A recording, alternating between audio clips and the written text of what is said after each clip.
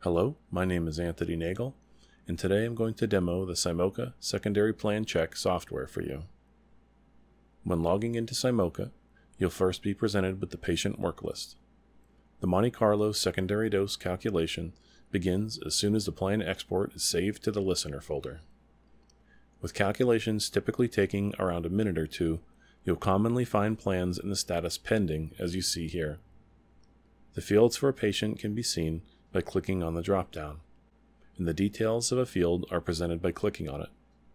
First, you'll see the header information containing the delivery type, number of fractions, and total dose. Just below that is a table containing the treatment planning dose and the SciMoCa dose, as well as the dose difference for each of the volumes that have been identified. Dose information is also displayed graphically via the dose volume histogram. Volumes can be selected for display from the list on the right.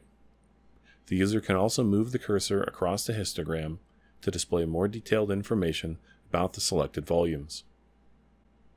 Just below the dose volume histogram is the 3D gamma analysis. In this case, we have a 99.4% pass rate using 2% per 1 mm criteria and 2.5 mm voxel sizes. The image slice viewer allows the user to step through the volumes slice by slice, viewing the treatment planning system dose, the SciMoCa dose, and the gamma.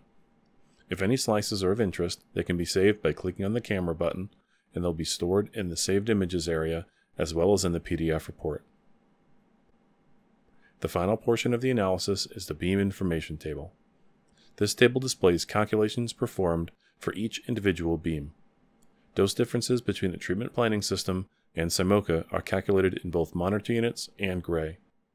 SciMoCa also provides plan complexity scoring information based on properties such as field irregularity, small field contribution, and leaf travel variability. These values are intended to help prioritize any follow-up QA activities that may be needed. After reviewing the plan, it's possible to make any notes needed at the bottom of the page before either approving or rejecting the plan. Once the plan is approved, a PDF report is generated so that any needed physical records can be kept. Taking a look at the PDF report, we'll first be presented with the plan information, approval status, the reviewer, and any notes that were made during the review. Next, we'll see the metrics table just as before on the web interface.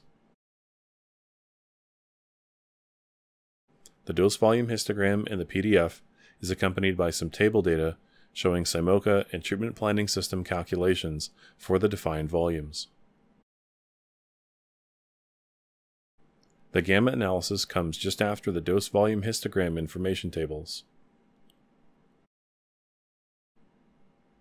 Images saved during the workflow are shown in the PDF report with each of the visible structures highlighted.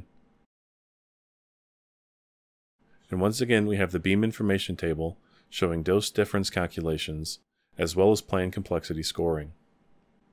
The report will also state the plan settings such as voxel size, beam model, and density tables used to perform the calculation. For more information, including clinical webinars, I invite you to visit the IBA Dosimetry webpage at www.iba-dosimetry.com. Thank you.